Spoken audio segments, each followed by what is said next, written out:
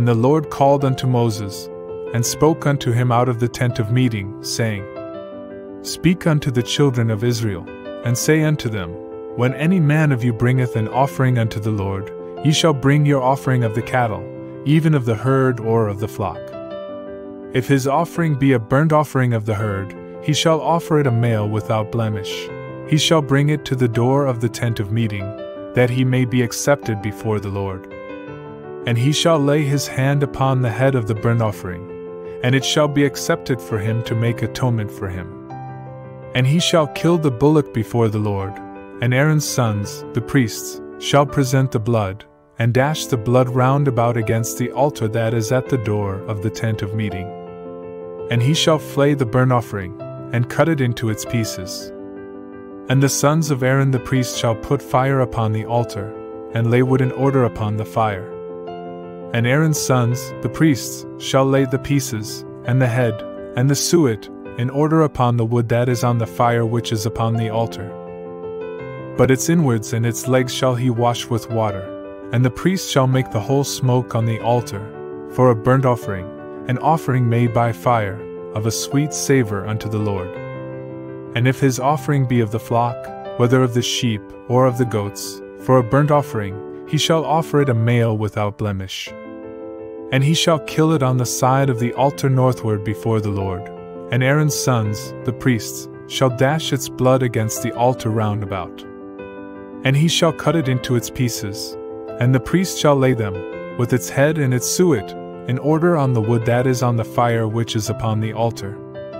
But the inwards and the legs shall he wash with water, and the priest shall offer the whole, and make it smoke upon the altar. It is a burnt offering, an offering made by fire, of a sweet savor unto the Lord.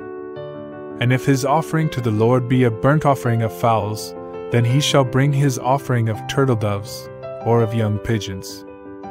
And the priest shall bring it unto the altar, and pinch off its head, and make it smoke on the altar, and the blood thereof shall be drained out on the side of the altar. And he shall take away its crop with the feathers thereof, and cast it beside the altar on the east part, in the place of the ashes. And he shall rend it by the wings thereof, but shall not divide it asunder. And the priest shall make it smoke upon the altar, upon the wood that is upon the fire. It is a burnt offering, an offering made by fire, of a sweet savor unto the Lord. And when any one bringeth a meal offering unto the Lord, his offering shall be of fine flour, and he shall pour oil upon it, and put frankincense thereon.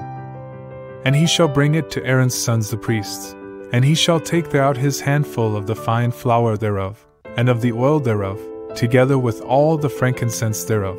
And the priest shall make the memorial part thereof smoke upon the altar, an offering made by fire, of a sweet savor unto the Lord. But that which is left of the meal offering shall be Aaron's and his sons. It is a thing most holy of the offerings of the Lord made by fire. And when thou bringest a meal offering baked in the oven, it shall be unleavened cakes of fine flour mingled with oil, or unleavened wafers spread with oil.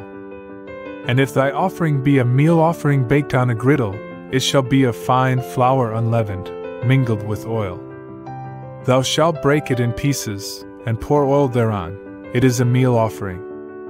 And if thy offering be a meal offering of the stewing pan, it shall be made of fine flour with oil and thou shalt bring the meal offering that is made of these things unto the Lord, and it shall be presented unto the priest, and he shall bring it unto the altar.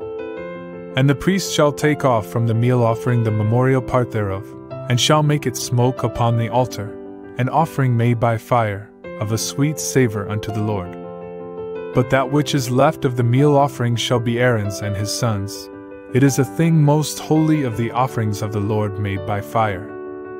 No meal offering, which ye shall bring unto the Lord, shall be made with leaven. For ye shall make no leaven, nor any honey, smoke as an offering made by fire unto the Lord. As an offering of first fruits ye may bring them unto the Lord, but they shall not come up for a sweet savour on the altar. And every meal offering of thine shalt thou season with salt. Either shalt thou suffer the salt of the covenant of thy God to be lacking from thy meal offering with all thy offerings thou shalt offer salt. And if thou bring a meal offering of first fruits unto the Lord, Thou shalt bring for the meal offering of thy first fruits corn in the ear parched with fire, even groats of the fresh ear. And thou shalt put oil upon it, and lay frankincense thereon. It is a meal offering. And the priest shall make the memorial part of it smoke, even of the groats thereof, and of the oil thereof, with all the frankincense thereof. It is an offering made by fire unto the Lord. And if his offering be a sacrifice of peace offerings, if he offer of the herd, whether male or female, he shall offer it without blemish before the Lord. And he shall lay his hand upon the head of his offering, and kill it at the door of the tent of meeting. And Aaron's sons the priests shall dash the blood against the altar round about. And he shall present of the sacrifice of peace offerings an offering made by fire unto the Lord, the fat that covereth the inwards, and all the fat that is upon the inwards, and the two kidneys, and the fat that is on them, which is by the loins, and the lobe above the liver, which he shall take away hard by the kidneys. And Aaron's sons shall make it smoke on the altar upon the burnt offering, which is upon the wood that is on the fire. It is an offering made by fire, of a sweet savor unto the Lord. And if his offering for a sacrifice of peace offerings unto the Lord be of the flock, male or female, he shall offer it without blemish. If he bring a lamb for his offering, then shall he present it before the Lord. And he shall lay his hand upon the head of his offering, and kill it before the tent of meeting, and Aaron's sons shall dash the blood thereof against the altar round about. And he shall present of the sacrifice of peace offerings an offering made by fire unto the Lord, the fat thereof, the fat tail entire, which he shall take away hard by the rump bone, and the fat that covereth the inwards, and all the fat that is upon the inwards, and the two kidneys, and the fat that is upon them, which is by the loins, and the lobe above the liver, which he shall take away by the kidneys. And the priest shall make it smoke upon the altar.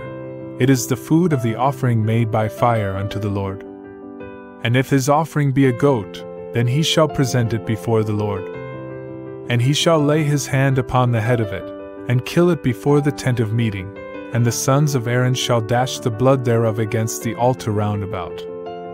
And he shall present thereof his offering, even an offering made by fire unto the Lord, the fat that covereth the inwards, and all the fat that is upon the inwards, and the two kidneys, and the fat that is upon them, which is by the loins, and the lobe above the liver, which he shall take away by the kidneys. And the priest shall make them smoke upon the altar it is the food of the offering made by fire, for a sweet savor. All the fat is the Lord's. It shall be a perpetual statute throughout your generations in all your dwellings, that ye shall eat neither fat nor blood. And the Lord spoke unto Moses, saying, Speak unto the children of Israel, saying, If any one shall sin through error, in any of the things which the Lord hath commanded not to be done, and shall do any one of them, if the anointed priest shall sin so as to bring guilt on the people, then let him offer for his sin, which he has sinned, a young bullock without blemish unto the Lord for a sin offering. And he shall bring the bullock unto the door of the tent of meeting before the Lord, and he shall lay his hand upon the head of the bullock, and kill the bullock before the Lord. And the anointed priest shall take of the blood of the bullock, and bring it to the tent of meeting